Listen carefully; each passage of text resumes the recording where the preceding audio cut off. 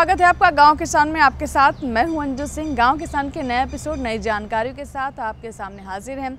आज के अंक में क्या विशेष है, सबसे पहले आपको ये बता दें। जी हाँ, आज हम सबसे पहले खेती किसानी में बात करेंगे धान की रुपाई के बारे में। बताएँगे इससे जुड़ी हुई विशेष बातें। इसके बाद बात होगी हमारा पशुधन की, जिसमें आज हम बात करेंगे गौपालन की। और अंत में हमेशा की तरह कामयाब किसान की दास्तान तो चलिए शुरुआत करते हैं आज के गाँव किसान की। सबसे पहले बात खेती किसानी की। खेती किसानी में आज हम धान के किसानों को विशेष बातें बताने वाले हैं। जी हाँ धान की रुपाई का समय चल रहा है और ये बहुत महत्वपूर्ण फ़सल है हमारे देश की। तो ऐसे में हमारे किसानों से किसी तरह की चूक ना हो जाए और उन्हें अच्छी उपज मिले। इसलिए ज़रूरी है कि विशेषज्ञों की बातों पर वो खास तौर पर ध्यान दें। तो आइए जानते हैं कि धान की रुपाई को लेकर क्या कहना है हमारे विशेषज्ञ का।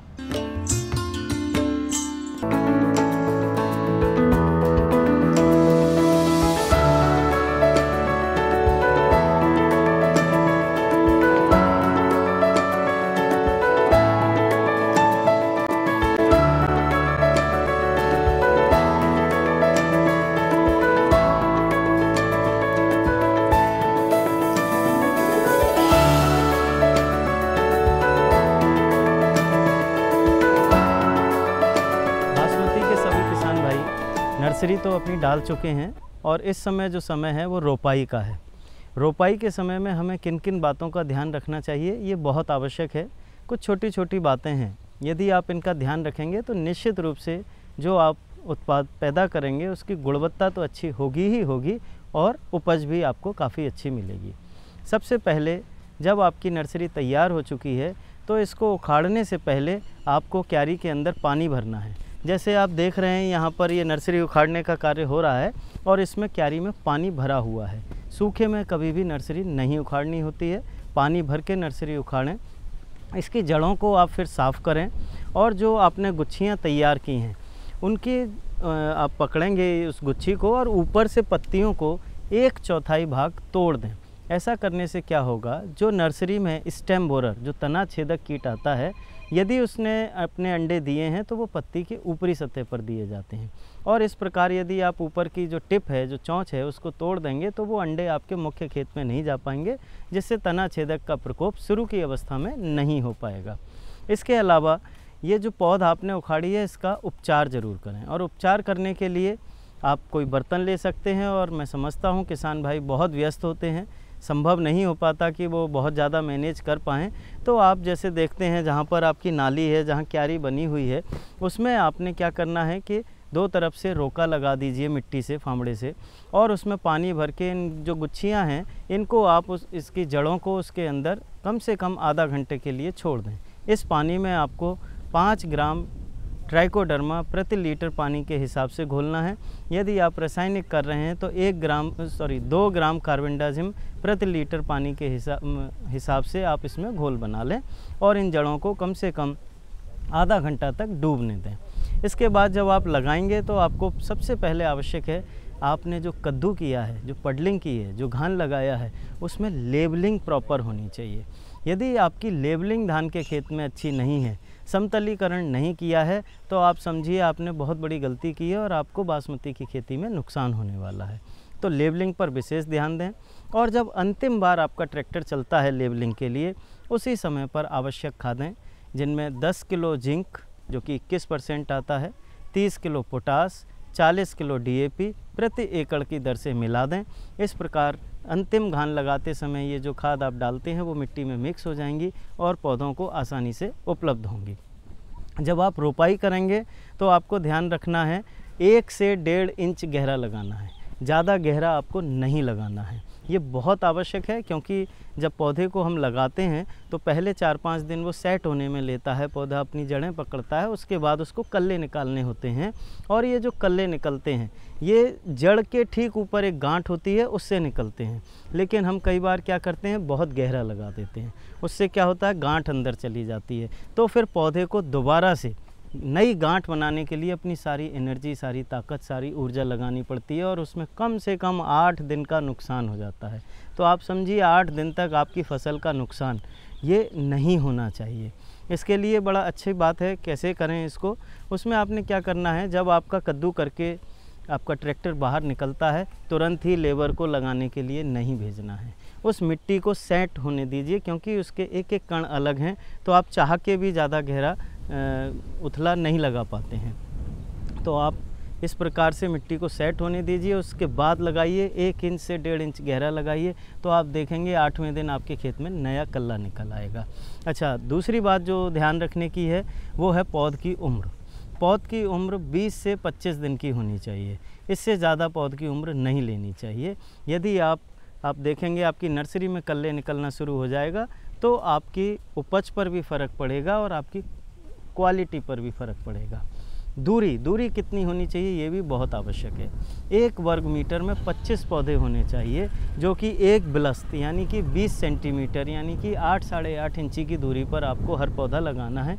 आप एक पौधा लगा सकते हैं, यदि आपकी नर्सरी कमज़ोर रही है तो आप एक जगह पर दो पौधों का भी रोपण कर सकते हैं।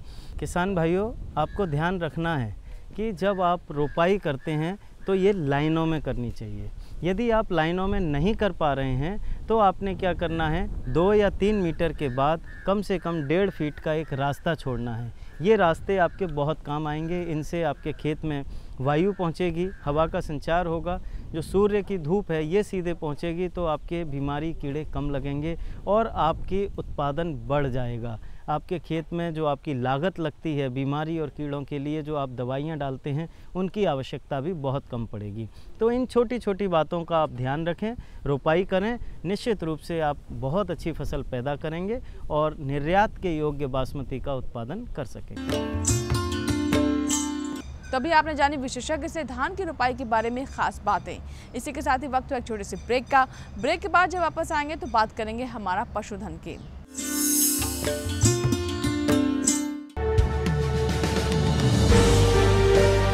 पचास साल से लगातार।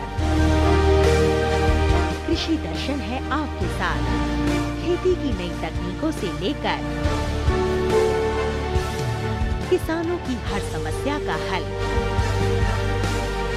जारी है कृषि दर्शन का ये सफ़र। किसान चैनल के साथ, सोमवार से शुक्रवार, शाम पाँच बजकर तीस मिनट पर। ब्रेक के बाद एक बार फिर आपका स्वागत है। आप देख रहे हैं गाँव किसान और वक्त हो गया हमारा पशुधन का। हमारा पशुधन में हम आपको पशुपालन से जुड़ी हुई खास बातें बताते रहते हैं। आज हम बात करेंगे गौपालन के बारे में। हालाँकि गौपालन के बारे में हम आपको कई बार जानकारी दे चुके हैं, लेकिन आज हम खास तौर पर विशेषज्ञ से चर्चा करेंगे, उनसे जानने की कोशिश करेंगे कि जो हमारे पशुपालक गौपालन करना चाहते हैं या कर रहे हैं, उन्हें किन बातों का ध्यान रखना चाहिए ताकि दूध उत्पादन भी अच्छा रहे और हमारे पशुओं की सेहत भी बनी रहे।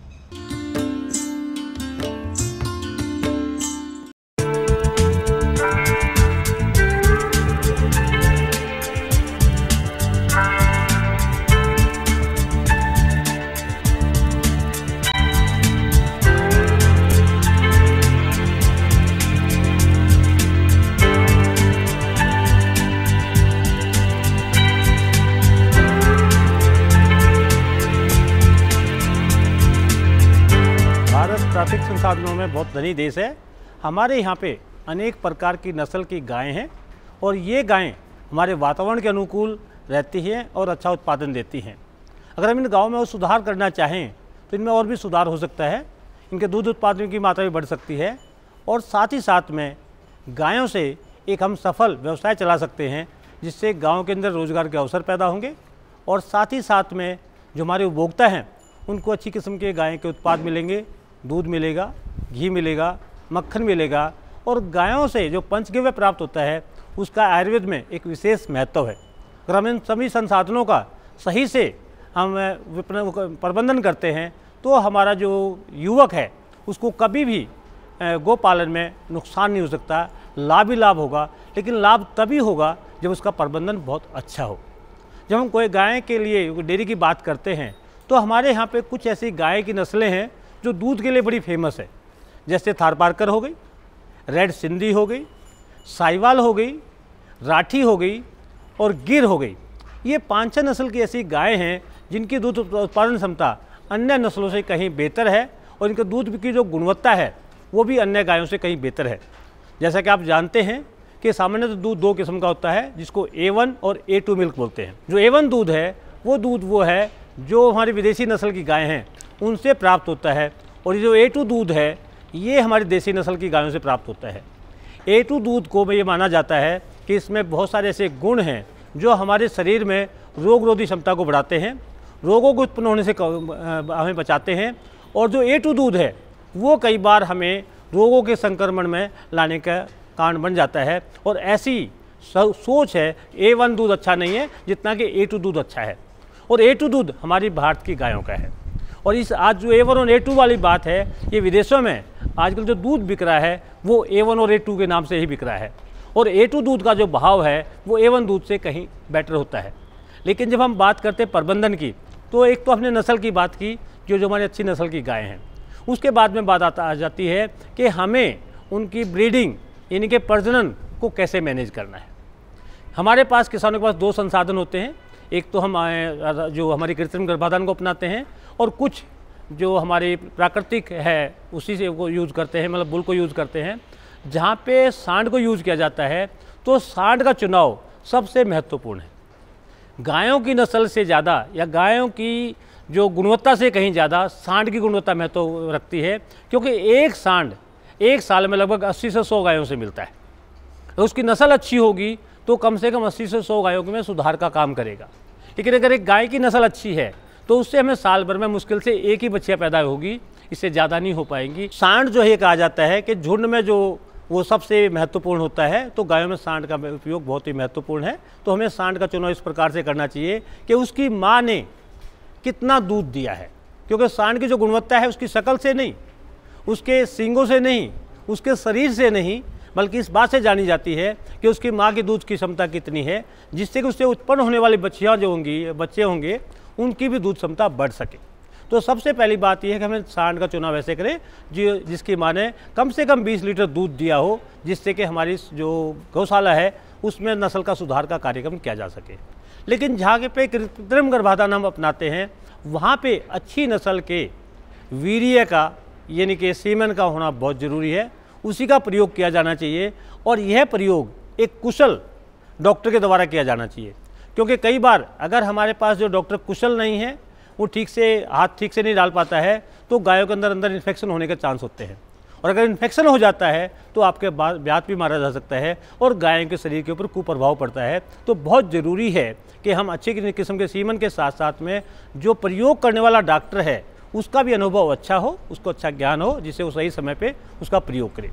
एक और महत्वपूर्ण बात ये है कि जब भी गायें कई बार हीट में आती हैं तो हम उसको ठीक से पहचान नहीं पाते। तो जितने भी हमारे पशुपालक भाई हैं, उनको जो हमें हीट में आने के, यानी कि गर्मी में आने के जो लक्षण हैं, उनका ज्ञान होना पूरा बहुत ज़रूरी है। और जब भी हीट में आती है तो हमें ये देखना चाहिए, हमें अपनी गाय को कब मिलाएँ। हीट में आने के तुरंत बाद, कभी भी कृत्रिम गर्भाधान नहीं करवाना चाहिए। कम से कम आठ से दस घंटे बाद करवाना चाहिए।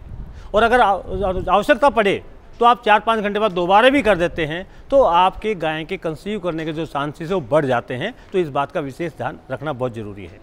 जब गाय आपकी प्रेग्नेंट हो गई है तो उसके बाद में दूध भी दे रही है और वो प्रेग्नेंट प्रेग्नेंट भी है। तो आपको उसको चारे और दाने का प्रबंध ऐसे प्रकार से करना पड़ेगा कि उसको अपने शरीर के भी मेंटेनेंस के लिए मिल जाए, अपने दूध उत्पादन की भी क्षमता के लिए मिल जाए और साथ साथ में उसको, उसके पेट में जो बच्चा पल रहा है, उसको भी सही से पोषण मिल जाए तो उसके आधार पर हमें करना चाहिए। तो गायों में जो पोषण व्यवस्था है, वो हमेशा हमें गायों के किस हालत में हो कोई गाय हैं? कोई दूध दे रही है, कोई दूध नहीं दे रही है, कोई ग्याबन है, कोई ग्याबन नहीं है। इन सब बातों को ध्यान में रखते हुए हमें उनके पोषण की प्रबंध करना चाहिए। जो अधिक पोषण अगर कहीं गायों को मिलता है तो वहाँ पे भी बीमारी की संभावनाएँ बढ़ जाती हैं कि ऐसी गायें हीट में आना कम शुरू कर देती हैं। दूध उत्पादन भी कम हो जाता है और शरीर भारी होने की वजह से उनमें कुछ बीमारी भी होने की भी संभावना रहती है। तो ये हमारे जो दूध उत्पादक है, उसके शरीर पे मतलब उसके जो ऊपर एक भार पड़ जाता है कि उसको ठीक से उसको दूध उत्पादन नहीं मिल पाता है। तो हमें बहुत ज़रूरी है कि जब भी हमारी गाय का बछड़ा या बछिया बच्चिया जो है, लगभग ढाई से तीन साल की हो जाए तो वो ग्याबिन हो जानी चाहिए। अगर ग्याबिन नहीं हो रही है तो हमें उसकी जाँच करवानी चाहिए कि ग्याबिन ना होने का क्या कारण है।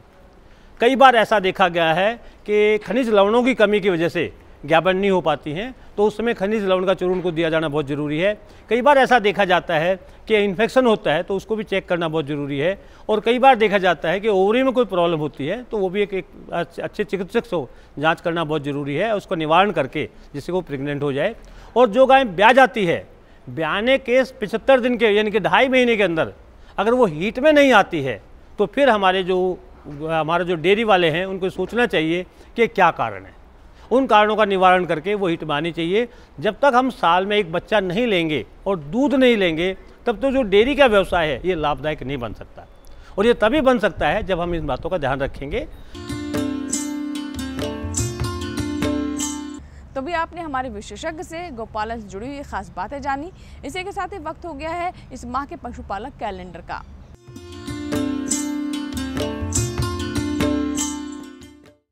जुलाई में ध्यान देने वाली बातें। जुलाई में अधिकांश हिस्सों में वर्षा ऋतु आने की संभावना रहती है, तथा कुछ स्थानों पर आंधी तूफ़ान के साथ वर्षा होती है। ऐसे में गर्मी व नमी जनित रोगों से पशुओं को बचाएँ। कीचड़ और बाढ़ आदि का प्रभाव पशुओं पर न्यूनतम हो, ऐसे उपाय अभी से करें। वर्षा जनित रोगों से बचाव के उपाय नहीं भूले। अतः परजीवी व कृमि नाशक घोल या दवा देने का समय भी यही है अगर मुँह पका, खुर पका रोग, गल घोटू, ठप्पा रोग, फड़किया रोग आदि के टीके नहीं लगवाए हो तो कृपया अभी लगवा ले विशेष रूप से व्यस्क भेड़ और बकरियों को फड़किया रोग का टीका लगवाएँ। पशु ब्याने के दो घंटे के अंदर नवजात बछड़े व बछड़ियों को खीस, यानी प्रथम स्तन्य अवश्य पिलाएँ। ज़्यादा दूध देने वाले पशुओं के ब्याने के सात से आठ दिन तक दुग्ध ज्वर होने की संभावना अधिक होती है। इस रोग से पशु को बचाने के लिए उसे गाभिन अवस्था में उचित मात्रा में सूर्य की रोशनी मिलनी चाहिए। गर्भ अवस्था के अंतिम माह में पशु चिकित्सक द्वारा लगाए जाने वाला विटामिन ई व सिलेनियम का टीका प्रसव उपरांत होने वाली कठिनाइयों जैसे कि जेर का ना गिरना इत्यादि में लाभदायक होता है। अतः पानी के साथ 5 से 10 ग्राम चूना मिलाकर या कैल्शियम। फास्फोरस का घोल 70 से 100 मिलीलीटर प्रतिदिन भी दिया जा सकता है। सींचित हरे चारे के खेतों में पशुओं को नहीं जाने दे, क्योंकि लंबी गर्मी के बाद अचानक वर्षा से जो हरे चारे की बढ़वार होती है, उसमें साइनाइड जहर पैदा होने से चारा जहरीला हो जाता है। ये ज्वार की फ़सल में विशेष तौर पर होता है। ऐसी फ़सल को समय पूर्व कच्ची अवस्था में ना काटे और ना ही पशुओं को खिलाएँ। चारा घासों की रुपाई करें और बढ़ रही घास की कटाई 40 से 50 दिनों के अंतर पर करते रहें। संतुलित पशु आहार के लिए मक्का, ज्वार, बाजरे की लोबिया व ग्वार के साथ मिलाकर बिजाई करें भेड़ के शरीर को ऊन कतरने के 21 दिन बाद बाह्य परजीवियों से बचाने के लिए कीटाणुनाशक घोल से भिगोएँ। तो ये था इस माह का पशुपालक कैलेंडर। वक्त हो गया एक छोटे से ब्रेक का। ब्रेक के बाद जब वापस आएँगे तो बात करेंगे कामयाब किसान की दास्तां की। कहीं मत जाइएगा देखते रहें गाँव किसान। क्या सोचते हैं वो जिन्हें चुना आपने? जो आपके हित में है। उसे जाना आपने? पूछेंगे हर वो सवाल जो रखता है आपसे सरोकार। बताएँगे आपको आखिर क्या है आपके अधिकार। हर सवाल, हर उलझन को सुलझाएँगे हम विशेषज्ञों के संग। दूरदर्शन किसान के खास कार्यक्रम। विचार विमर्श। शुक्रवार, रात 10 बजे। ब्रेक के बाद गाँव किसान में एक बार फिर आपका स्वागत है और अब समय हो गया है कामयाब किसान की दास्ता का।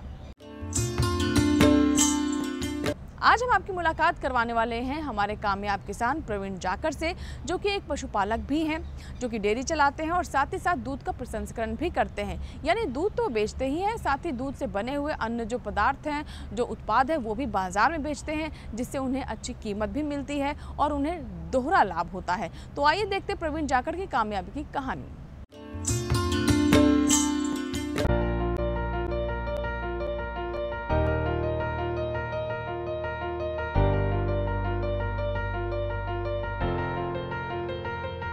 हमारा डेयरी का व्यवसाय है। मैंने बचपन से भैंस को डेयरी का व्यवसाय था तो दूध बेचा और इतना मुनाफा नहीं हो, हो पा रहा था। तो फिर मैंने के वी के से ट्रेनिंग ली और ग्राम ग्राम कुल से जुड़ा और फिर मैंने सीखा कि दूध से बहुत प्रोडक्ट बनते हैं। तो मैंने पनीर दही मक्खन घी अपना बनाया और एक छोटी सी दुकान की और आज बहुत अच्छा व्यवसाय चल रहा है और अब मैंने आइसक्रीम बनानी स्टार्ट की है, जो कि बहुत ही लोगों को पसंद आ रही है। और मैं केवी का धन्यवाद करता हूँ कि जो मैं ट्रेनिंग से इतना सब सीख पाया और एक दो अपने साथियों को भी मैं रोज़गार दे रहा हूँ, जो मेरे साथ जुड़े हैं।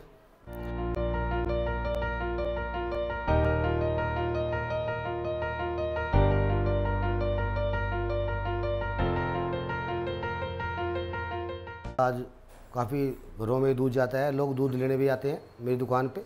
और जैसे पनीर है, बहुत ही उच्च, क्योंकि हमारी अपनी भैंसें हैं, अपनी भैंसों का बढ़िया दूध है। और तो लोग तारीफ़ करते हैं कि बहुत अच्छा पनीर है और काफ़ी सेल बढ़ती जा रही है। ऐसे ही मक्खन है, घी है, लोग एक बार ले जाना, यूज़ करने के बाद दोबारा ज़रूर लेके जाते हैं। और मेरे प्रोडक्ट को बहुत अच्छा बताया ग्राहकों ने।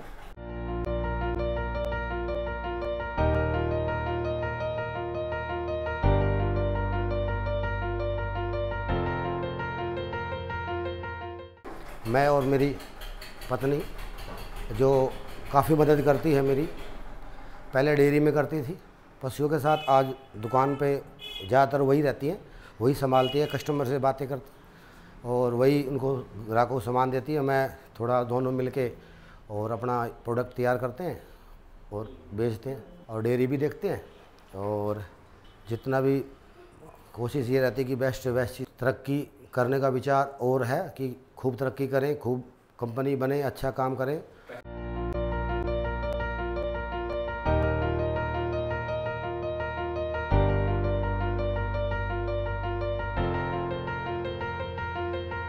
पहले दूध देने जाया करते तो थोड़ा सस्ता बिकता था, कभी चारा कम पड़ गया, कभी वो पड़ गया तो कभी पैसे पूरे हो गए, कभी नहीं हुए तो यही था। जब से दूध से प्रोडक्ट बना के बेचने लग गया, पनीर, घी, दूध तो ज़्यादा बेनिफिट हुआ। अब लगता है कि कुछ है, काम है तो मेहनत मेहनत रंग ला रही है। खाली दूध बेचने से इतना प्रॉफिट नहीं हो पाता।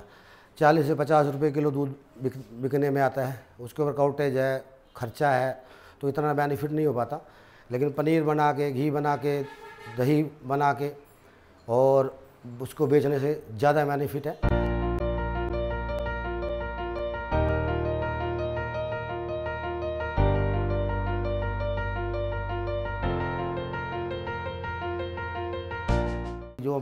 किसान भाई हैं, सारे मिल के अपने दो दो चार चार इकट्ठे होके और अपना यूनिट लगाएँ और जगह जगह अपना काम करें और सीधा बाज़ार में किसी होलसेलर को देने के बजाय सीधा बाज़ार में अपना माल बेचें। ये थी हमारे कामयाब किसान की दास्ता। आशा करते हैं कि आप भी प्रवीण जाकर से ज़रूर कुछ ना कुछ सीख लेंगे। इसी के साथ ही आज के गाँव किसान में फ़िलहाल इतना ही। नए एपिसोड में नई जानकारियों के साथ फिर होगी आपसे मुलाकात। तब तक के लिए दीजिए इजाज़त। नमस्कार।